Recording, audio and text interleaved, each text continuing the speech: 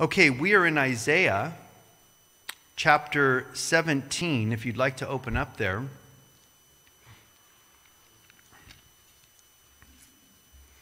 And I have entitled this message, Remembering Our First Love. Remembering Our First Love. Isaiah 17. And we're going to just read a couple of verses here, verses 9 and 10.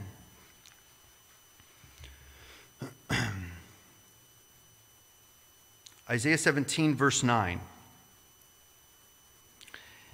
In that day, his strong cities will be as a forsaken bough and an uppermost branch, which they left because of the children of Israel, and there will be desolation because you have forgotten the God of your salvation and have not been mindful of the rock of your stronghold.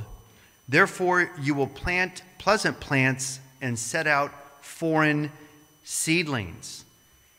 Now, many of you were not here on Wednesday night. I encourage you to go and listen to the message on Wednesday night where we looked at this chapter in detail and what the whole chapter is about uh, God was specifically speaking about the proclamation and the destruction that he was going to bring against the city of Damascus, which we believe is still a future prophecy. It's a really interesting prophecy, actually, as you tie it into end times prophecies. And we went into some of the details of that on Wednesday night. I encourage you to listen to the message.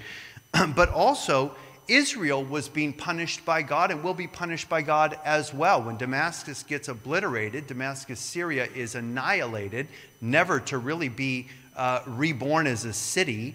Uh, decapitated is literally what it means uh, when it talks about it's going to be destroyed.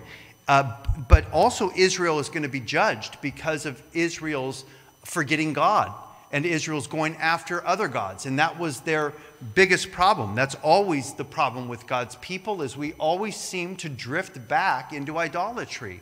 We seem to drift back into our old ways, our old habits, and we forget the Lord and we forget the word of God. We forget his commands. We forget that he is holy and that he's called his people to holiness and to be separate. Come out of her, my people, and be ye separate is the call of God to his people. We're in the world, but we're not to be like the world. We're not to be of the world. We're to be light in the world. We're to be salt, which is preserving, which is good.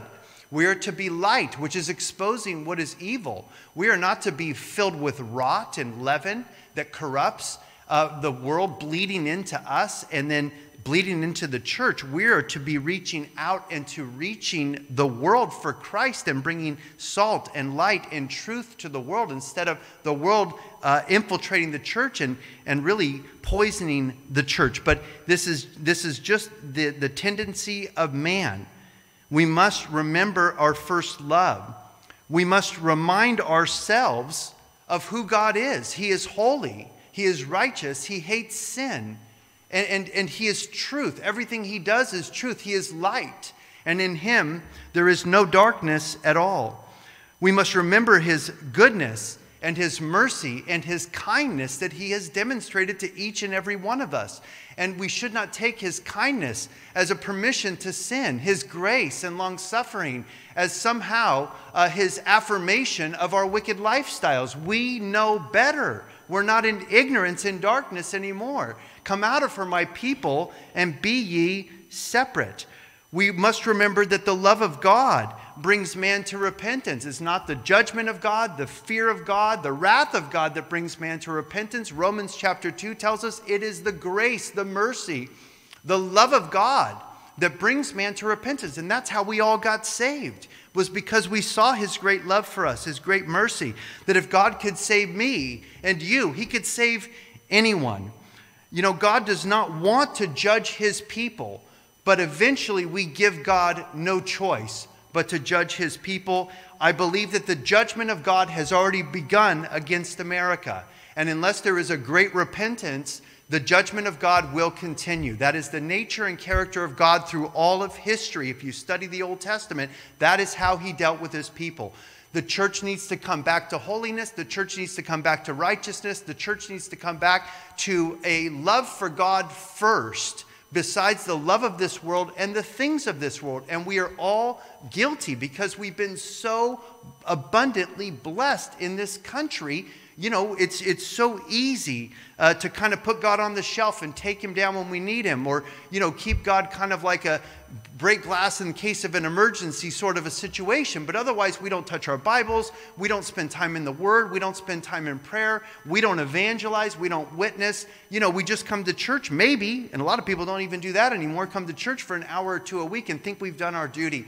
But really, it's supposed to be seven days a week that we are seeking God and we are serving God and we are putting God first. We don't belong to ourselves. He bought us and purchased us with His blood. We were bought with a price. We don't own ourselves anymore. He owns us. He gets to tell us how we should live now.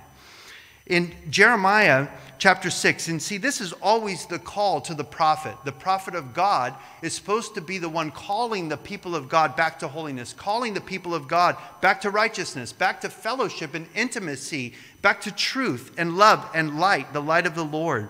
And this is what the prophets did. In Jeremiah chapter 6 and verse 10, as an example, to whom shall I speak and give warning, the prophet says, that they may hear. Indeed, their ear is uncircumcised, and they cannot give heed. Behold, the word of the Lord is a reproach to them. They have no delight in it. Therefore, I am full of the fury of the Lord. I am weary of holding it in.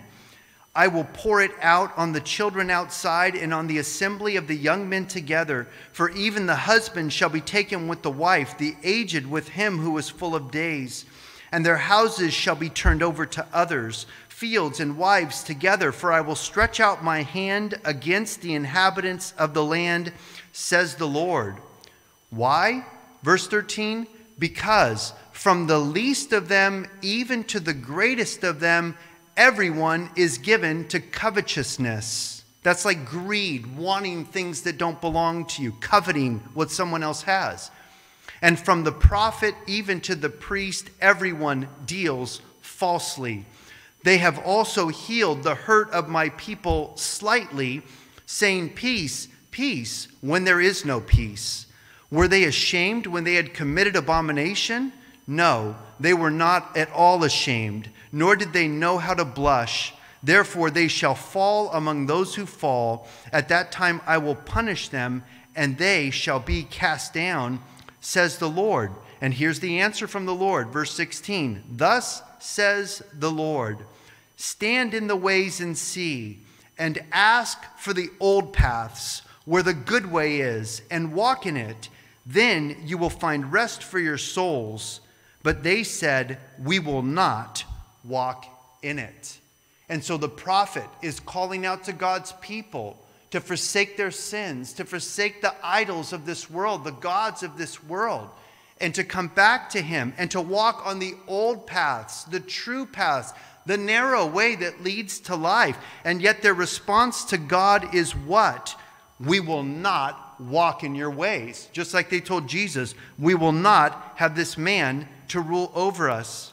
In Jeremiah chapter 8 and verse 4, we read, Moreover, you shall say to them, Thus says the Lord, Will they fall and not rise? Will one turn away and not return? Why has this people slidden back or backslidden? This is where we get the term backsliding from. Why has this people slidden back? Jerusalem in a perpetual backsliding. They hold fast to deceit. They refused to repent or to return. But I listened and I heard, but they do not speak aright. No man repented of his wickedness, saying, What have I done? Everyone turned to his own course, as the horse rushes into the battle. Even the stork in the heavens knows her appointed times, and the turtle dove, the swift, and the swallow observe the time of their coming but my people do not know the judgment of the Lord. How can you say we are wise and the law of the Lord is with us? Look, the false pen of the scribe certainly works falsehood. The wise men are ashamed. They are dismayed and taken. Behold, they have rejected the word of the Lord. So, what wisdom do they have? Therefore, I will give their wives to others and their fields to those who will inherit them, because from the least even to the greatest, everyone is given to covetousness. From the prophet even to the priest, everyone deals falsely. He's repeating what he told us in chapter 6. For they have healed the hurt of the daughter of my people slightly, saying, Peace, peace, when there is no peace. Slightly could be uh, translated superficially. It's not true. They have, they have healed the hurt of my people superficially, not really saying, Peace, peace, but there is no peace. Judgment was about to come upon Jerusalem, and the false prophets were telling the people, Don't worry, everything's fine. And Babylon was at their gates, about to destroy them and carry them away captive for 70 years into Babylon. He says in verse 12, Were they ashamed when they had committed the abominations? No, they were not at all ashamed, nor did they know how to blush. Therefore, they shall fall among those who fall in the time of their punishment, they shall be cast down, says the Lord. Sounds a lot like America to me. Sad to say it, wish it wasn't true, uh, but it sounds a lot like America. Somehow we think that grace is a license to sin. Somehow, because we're saved, we can go sin like everyone else, and it's all fine because of grace. And God is saying, No, I'm calling you unto myself. I'm calling you unto holiness. I'm calling you back to myself to walk in the old ways. Don't listen to the false prophets that are telling you everything is going to be okay. The judgment of God will come upon a nation that is wicked. He must judge wickedness. Otherwise, he's not the God of the Bible. And, you know, Daniel uh, would repent in Daniel chapter 9. He was a righteous man, but he would say to God, We're a wicked people. Daniel would say this. He was a righteous man. He wouldn't deny the Lord. He prayed, got thrown in the lion's den, and wouldn't deny the Lord, and stood before kings and rulers uh, on the Lord's behalf. But he included himself in that when he said, We, we are a wicked nation. We have sinned against you, Lord. We have brought this judgment upon ourselves. And we need to start praying that way, guys. We need to start praying. I, have a lot of Christians who tell me, well, you know, I'm not wicked. I mean, yeah, but, you know, God doesn't need to judge our nation because there's a lot of good people. Yeah, but there's a lot of wicked people. And the wickedness of our nation is polluting the world. The internet is, is, is taking all of our filth from Silicon Valley and from Hollywood and from New York, and it's, it's uh, promoting it everywhere in the world. We're influencing the world with our heresy, with our blasphemy, with our pornography and our, uh, idolatry. You know, it, it, is, it is perversion that's coming out and, and rot and rebellion, our feminism, and all the things destroying the nuclear family, transgender, getting the kids in school and having them change their sex, and the state pays for it, abortion on demand, 62 plus million babies killed and counting. How could God not judge America? We have to wake up and understand this is what's coming. And again, I believe the judgment of God upon our nation has already begun.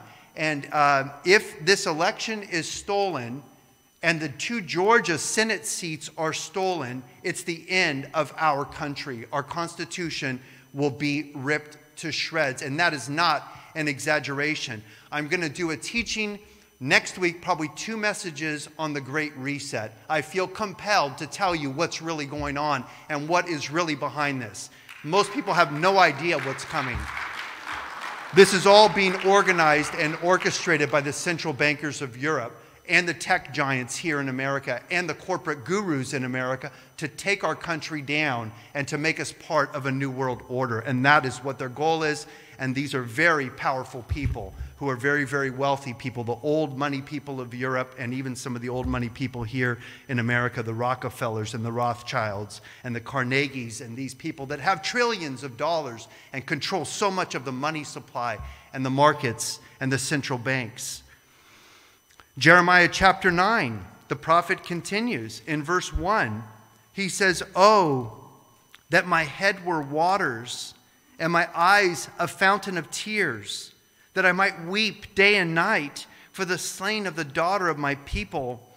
Oh, that I had in the wilderness a lodging place for travelers, that I might leave my people and go from them, for they are all adulterers. An assembly of treacherous men. Remember, Jesus defines adultery as what? Looking upon another with lust, Jesus says, is adultery. Not only the act, but also the heart, the eyes, the mind, the thoughts, the fantasy realm. Jesus says it's not, you know, to, to, to, to say, well, you shall not commit adultery. You know, he says, yeah, but you shall not look upon another to lust after them because then you've committed adultery in your heart. I mean, look at what we're doing in our nation with all of the pornography. I mean, you can't, you can't find a movie today that they're making without gay characters kissing each other. That's the latest thing. The Hallmark Channel's gone off the rails.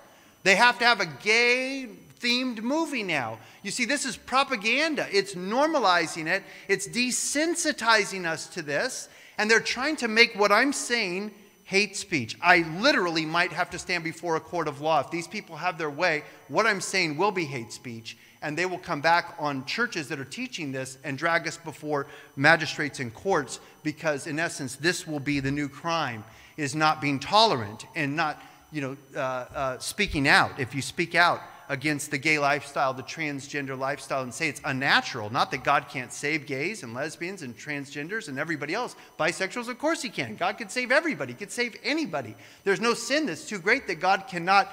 Uh, forgive. If you repent of your sins and turn to Christ, He'll wash you white as snow. He'll save you right where you're at. That's not the unforgivable sin. But we in the church cannot condone these things because God does not condone these things.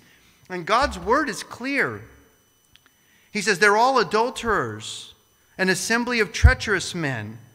And like their bow, they have bent their tongues for lies. They are not valiant for the truth on the earth. My goodness, I don't think there's ever been a generation that's lied as much as our generation. You can't believe nearly anything that you read online or on Facebook or on Twitter or Instagram. There's so much mass deception and manipulation and brainwashing that is going on. He says, They proceed from evil to evil, and they do not know me, says the Lord.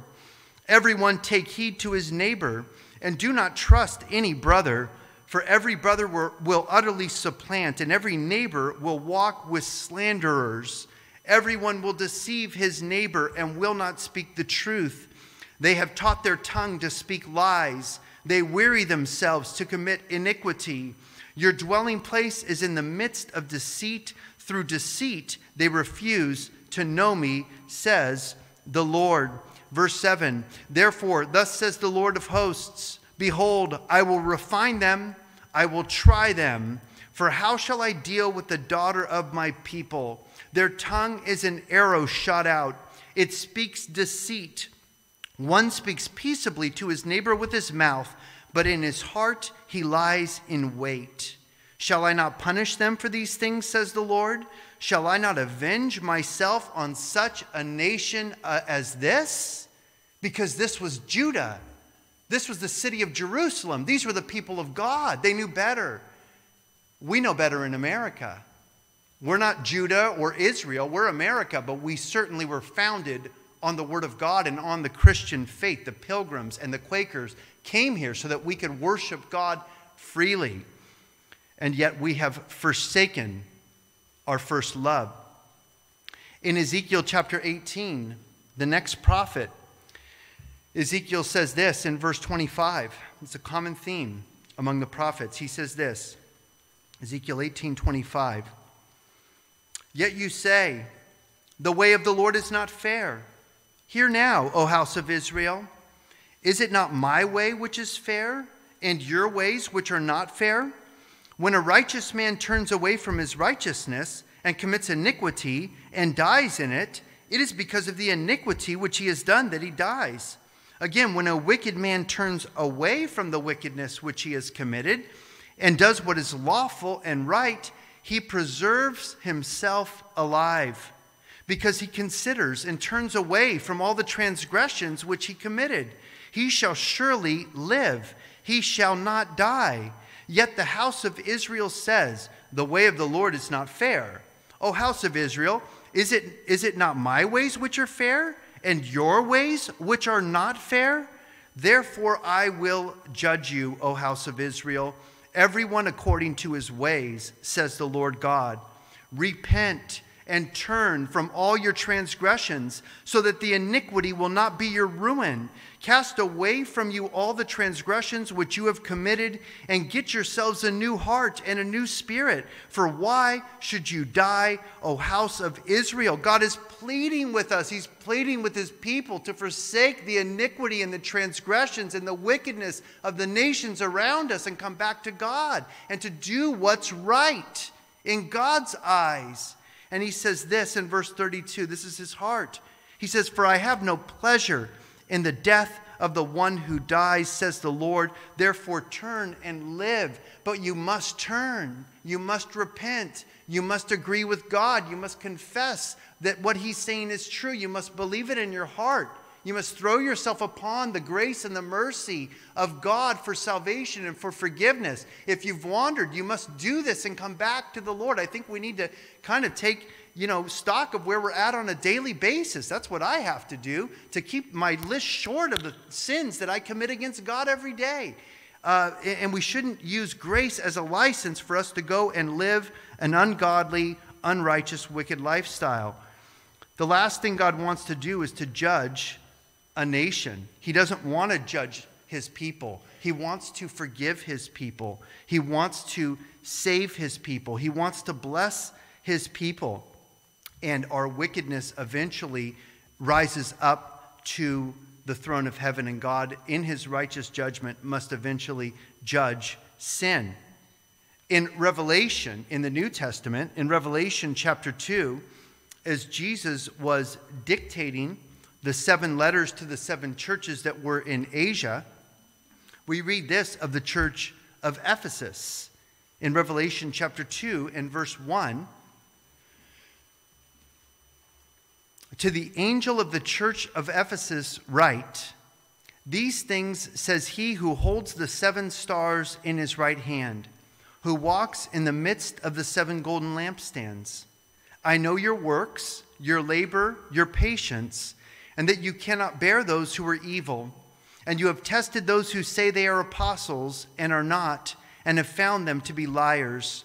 And you have persevered and have patience, and have labored for my name's sake and have not become weary. And so you would think, wow, this sounds like a great church. This sounds like a church I would like to be a part of. I would like to be a pastor in a church like this. We have good works. We're laboring. We're patient. We don't bear those who are evil. We've tested false apostles, false prophets, called them out as liars.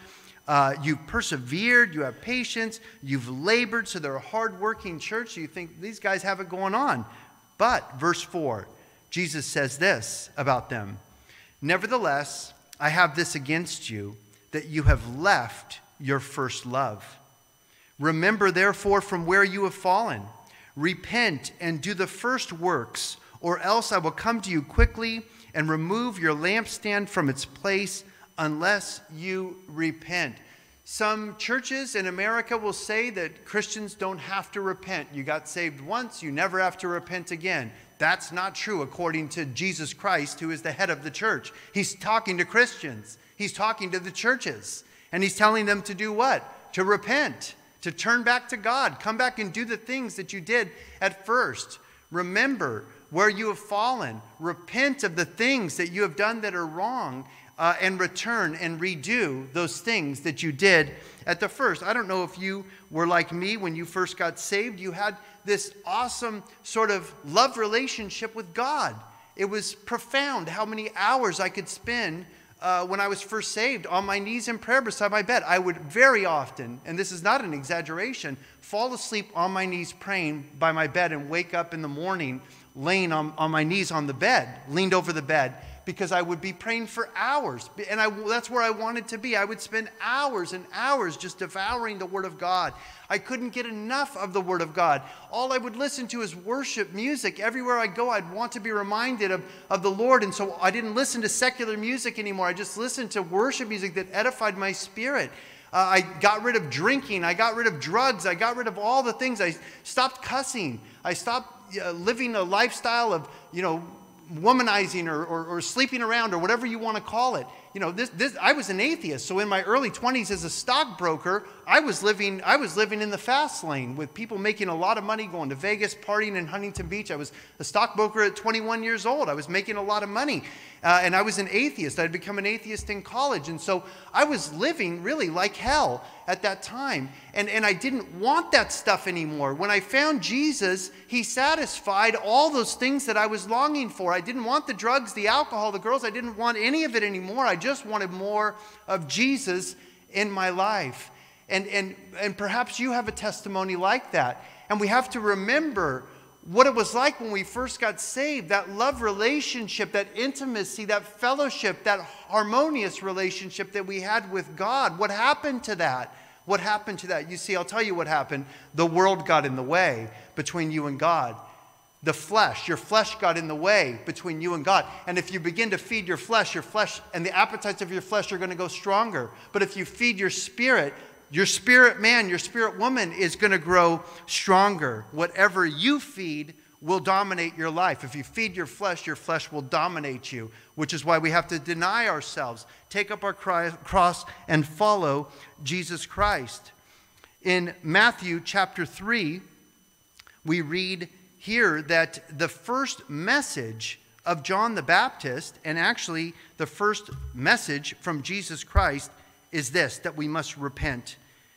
In Matthew chapter 3 verse 1, John the Baptist came preaching in the wilderness of Judea and saying, "Repent, for the kingdom of heaven is at hand."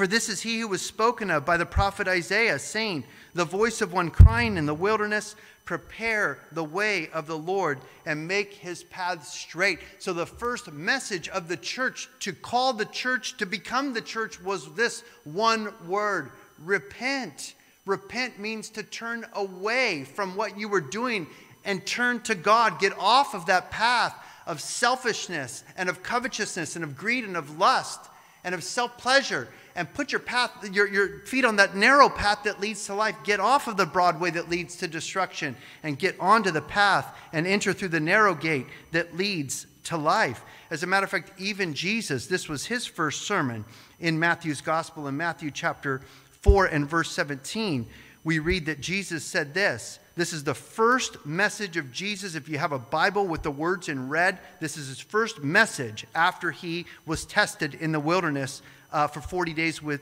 uh, Satan.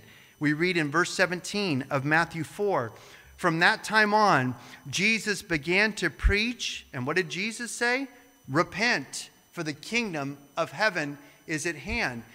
Do you know there are those who want to actually um, censor the churches to where we cannot call sin sin, any sin, sin, whether it's fornication, whether it's two people who are living together that never get married, uh, whether it's somebody who's cheating on their taxes, whether it's somebody who's just a perpetual uh, uh, liar and all they, every word that comes out of their mouth, they, they want to make it to where you can't judge anyone for what they do or say and make it hate speech. And of course, that's going to target the churches, is who it's going to target. And it's not going to target most of the churches, it's going to target churches like ours that are sticking to the Word of God.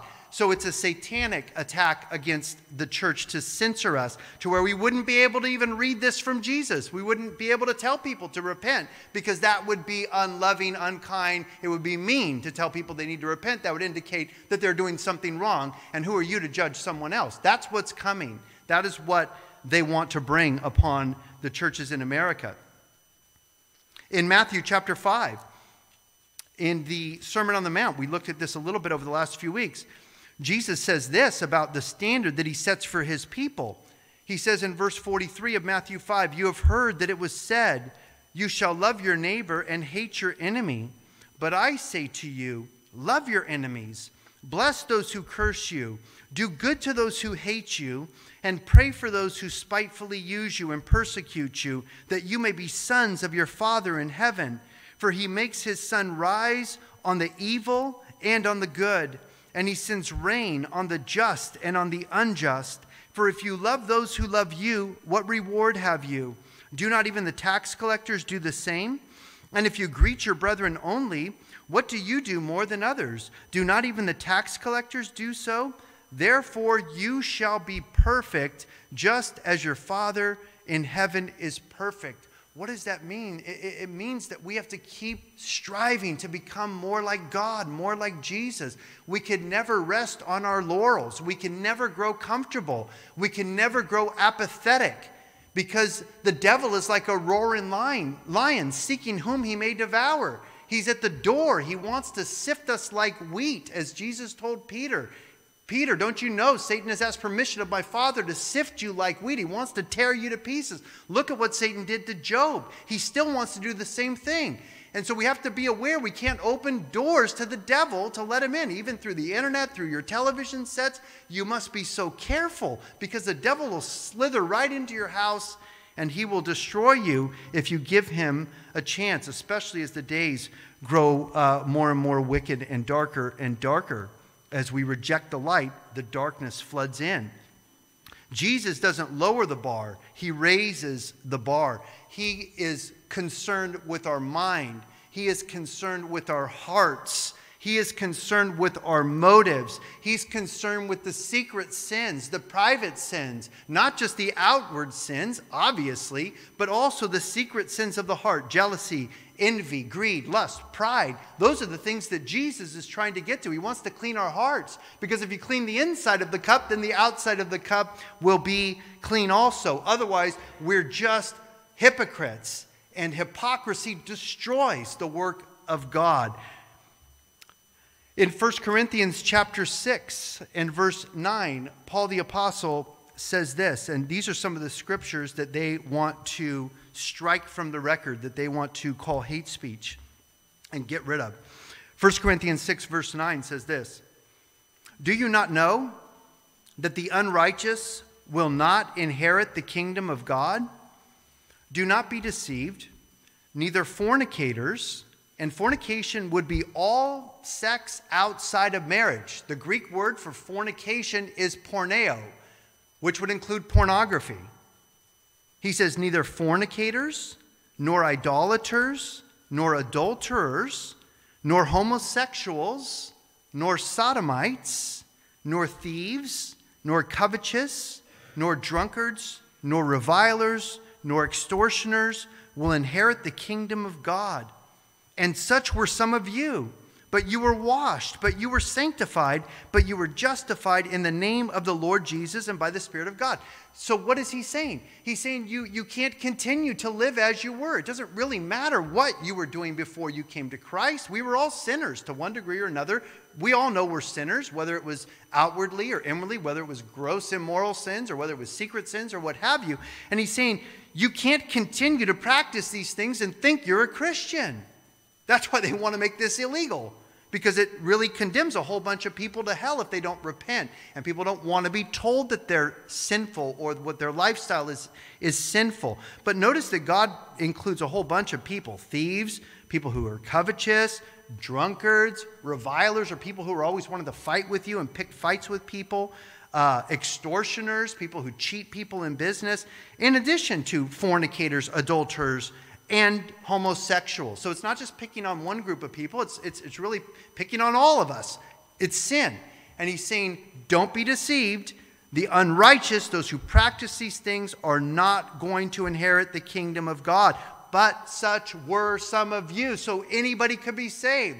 If you're struggling with sexual sin today, you could be saved. You could be forgiven. You could be washed. You could be cleansed by the blood of Jesus Christ. But it's not so that you can go right back into that same filthy, perverted lifestyle. You know, it's, Peter says that the pig returns to wallow in the mire after it's washed, and the dog returns to eat its vomit. That should not be the case for us as the children of God. Why would we want to go back to roll around in the muck or to go and eat the vomit that we used to live in before we were saved? It makes no sense. It's a total contradiction. In Second Corinthians, in chapter 6, we read this in verse 14.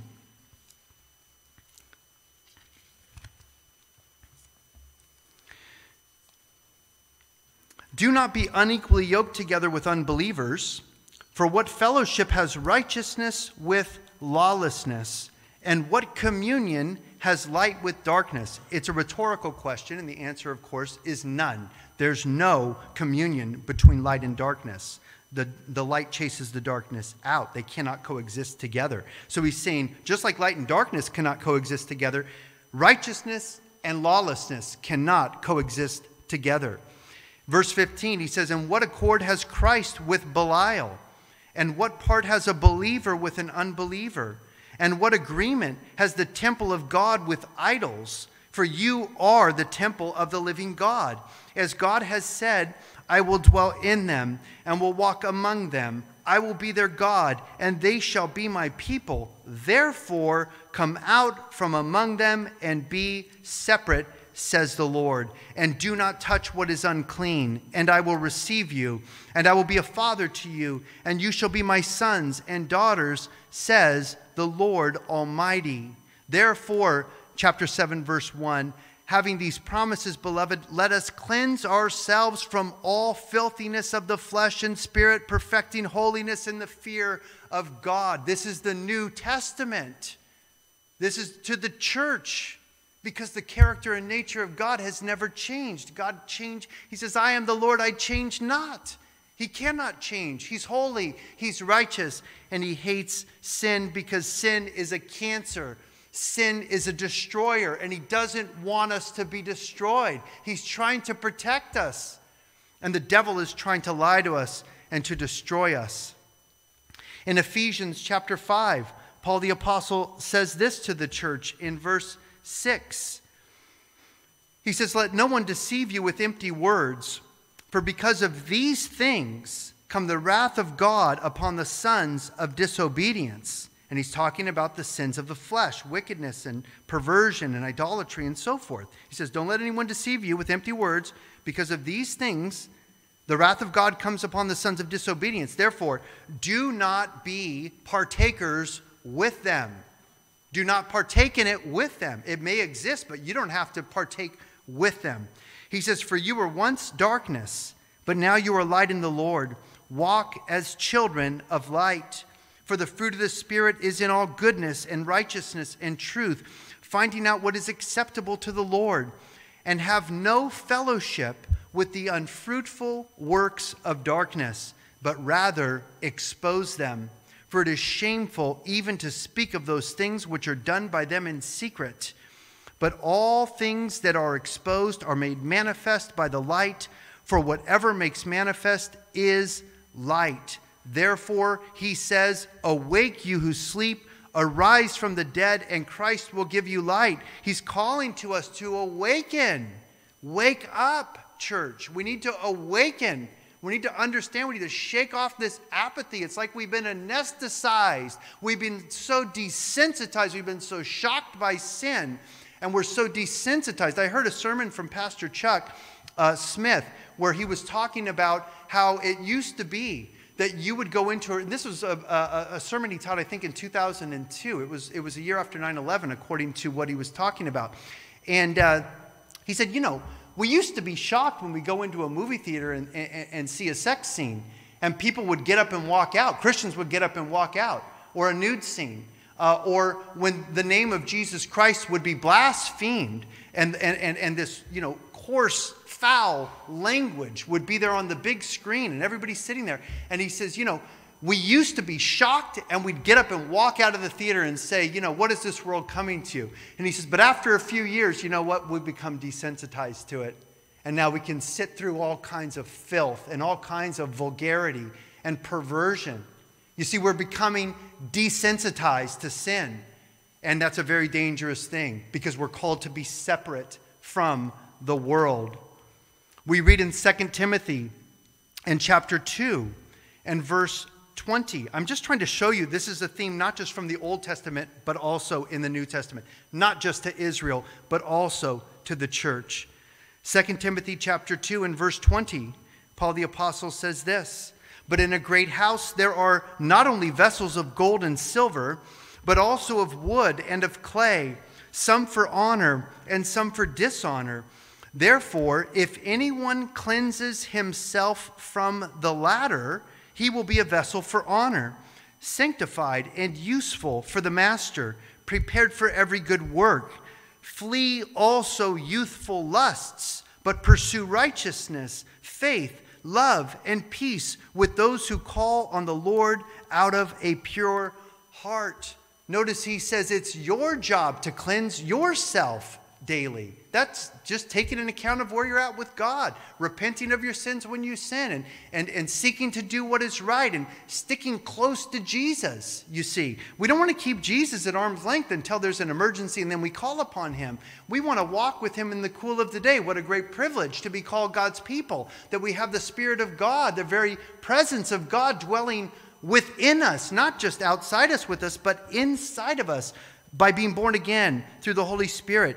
And he says that, you know, if you cleanse yourself from the latter, from the things of, of, of, sin and dishonor, he says you're going to be a vessel of honor. And, and that's the vessel that God is going to fill and the vessel that God is going to use. But a defiled vessel, God cannot really use in the same way as a clean vessel. This is the New Testament. This is, this is the Spirit of the Lord speaking to the church, I believe, in America in the 21st century today we need to wake up. If we're not scared of what's coming, we should be scared of what's coming because our nation deserves the judgment of God upon it for all of our wickedness, even if it's not you and me doing it. It's still happening on our watch, it's still happening uh, in our generation.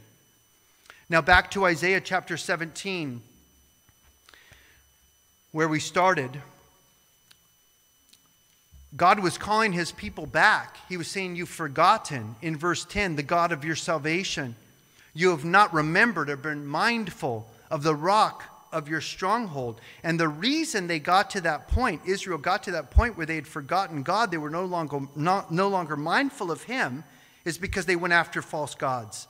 In verse 7 of Isaiah 17, in that day a man will look to his maker his eyes will have respect for the Holy One of Israel. He will not look to the altars, the work of his hands.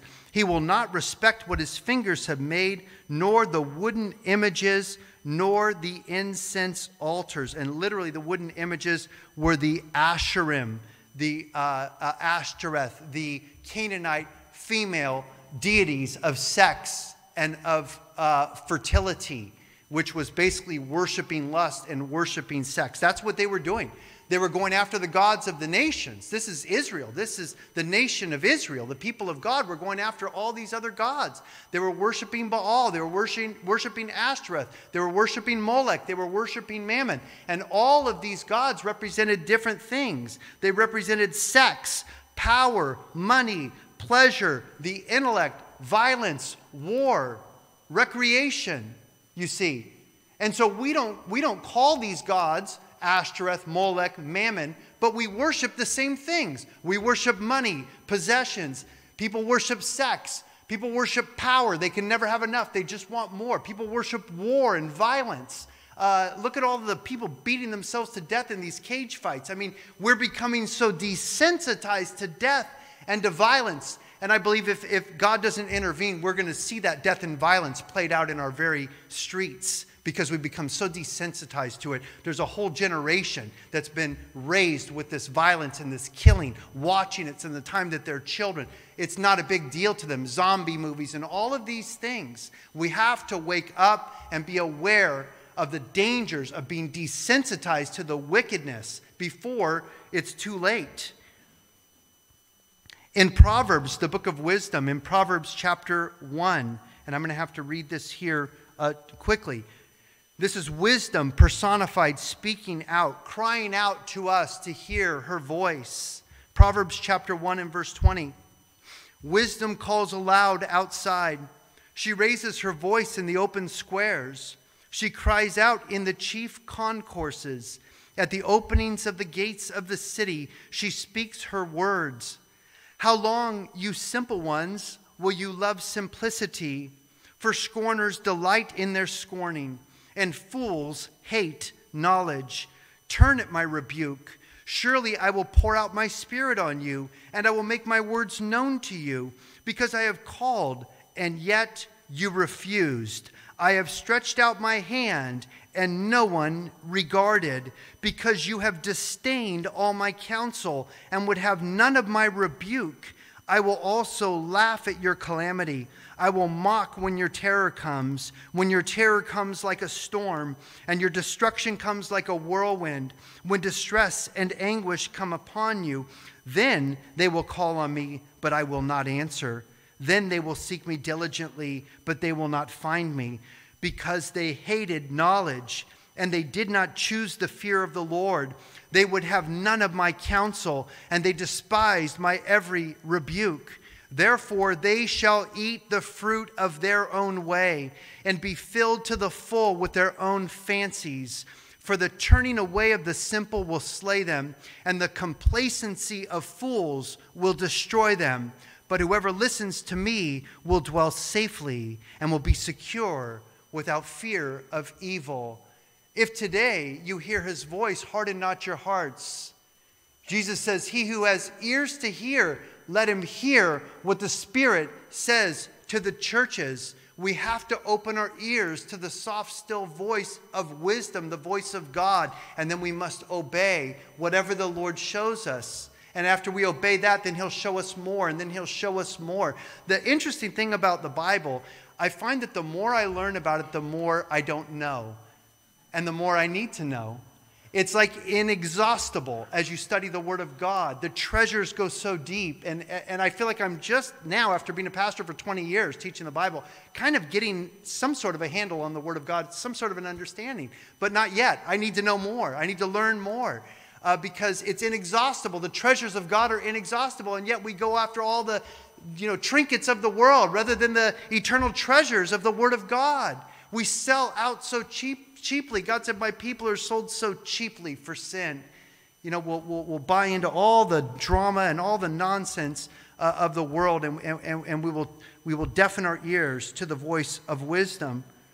And God says, I'm going to give you what you want. You don't want me, so I'm going to give you what you want, even though it's not what you think it's going to be. In Deuteronomy chapter 4 and verse 1, now, O Israel, listen to the statutes and to the judgments which I teach you to observe, that you may live and go in and possess the land which the Lord God of your fathers is giving you. You shall not add to the word which I commanded you, nor take from it. You shall not add to the word of God or take away from it, is what he's saying. And the book of Revelation, in the last chapter, the last few verses of the last chapter of the book of Revelation, Revelation 22, says the same thing. You shall not add to the word of God or take away from it. He says that you may keep the commandments of the Lord your God, which I command you. For your eyes have seen what the Lord did at Baal Peor. For the Lord your God has destroyed from among you all the men who followed Baal of Peor. But you, who held fast to the Lord your God are alive today, every one of you. Surely I have taught you statutes and judgments, just as the Lord my God commanded me, that you should act according to them in the land which you go to possess. Therefore, be careful to observe them. That means not just knowing, but doing them. For this is your wisdom and your understanding in the sight of the peoples who will hear all these statutes and say, Surely this great nation is a wise and understanding people, those who are doing what God commands us to do, he's talking about. For what great nation is there that has God so near to it as the Lord our God is to us? For whatever reason we may call upon him. Verse uh, verse 8. And what great nation is there that has such statutes and righteous judgments as are in all this law which I set before you this day? Only take heed to yourselves and diligently keep yourselves, lest you forget the things your eyes have seen, and lest they depart from your heart all the days of your life, and teach them to your children and to your grandchildren especially concerning the day you stood before the Lord your God in Horeb, when the Lord said to me, Gather the people to me, and I will let them hear my words, that they may learn to fear me, or reverence me, or be in awe of me all the days that they live on the earth, and that they may teach their children.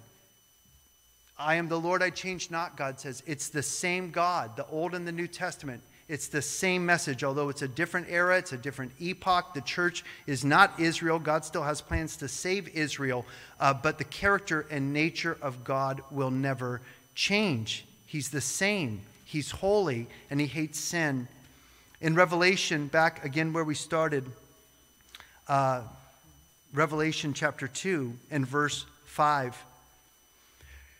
Remember, therefore, from where you have fallen and repent and do the first works, or else I will come to you quickly and remove your lampstand from its place unless you repent. The lampstand was actually the light of the church in that local church. Like Jesus was saying, I'm going to snuff out that church uh, of Ephesus if you don't do this, if you don't mind your ways.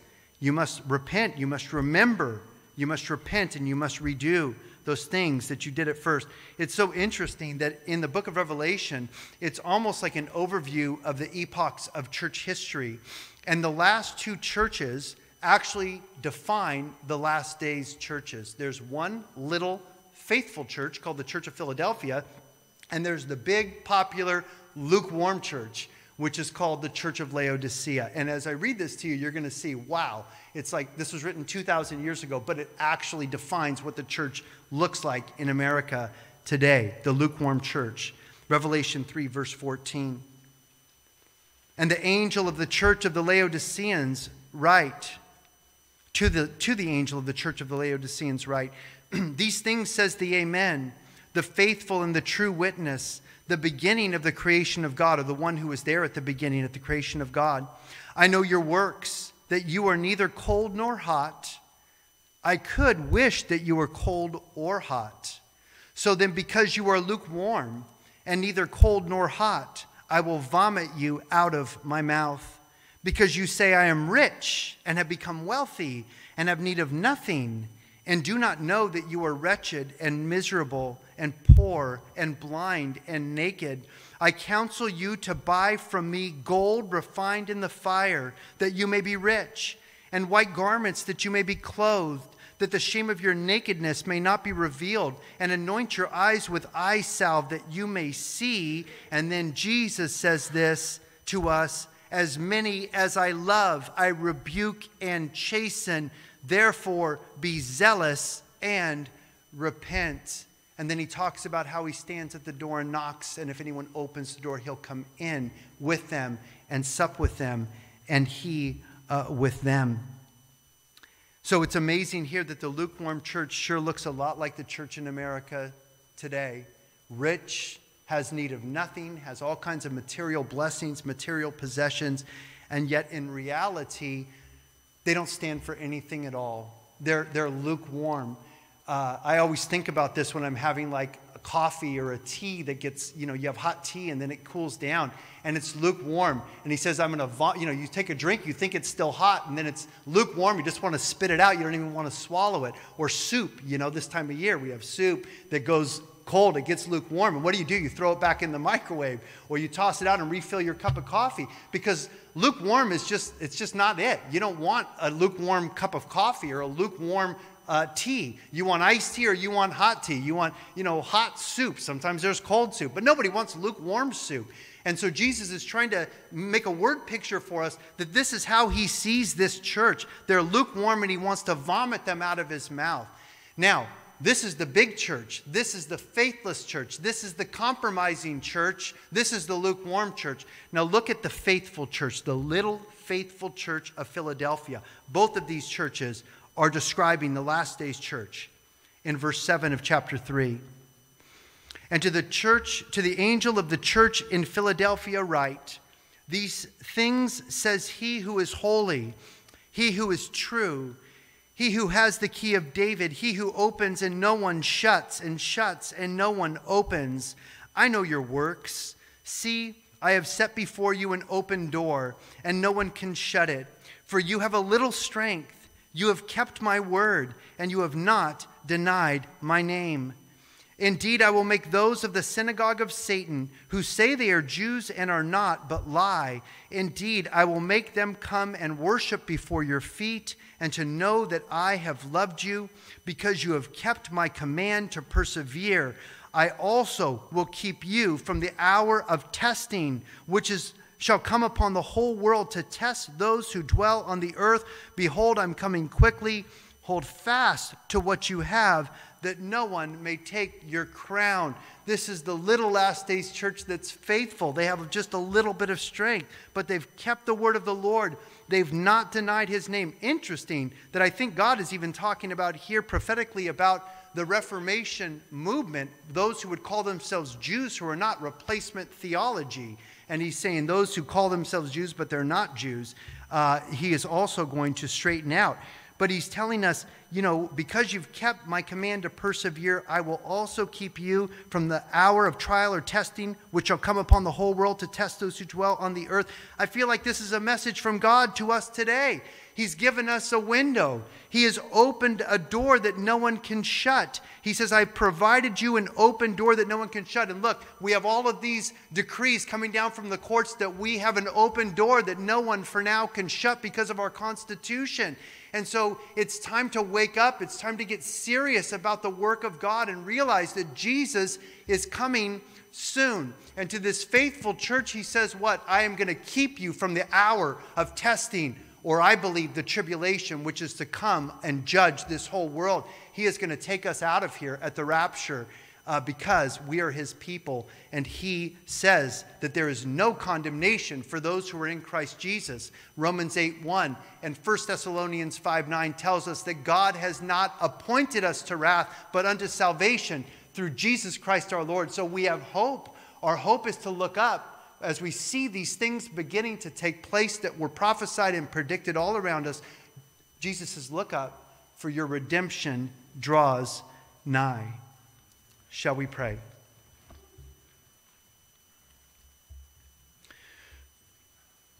Lord, we ask for your forgiveness here. Lord, I ask for your forgiveness, for I also, Lord, am a sinner, just like all of your people, Lord.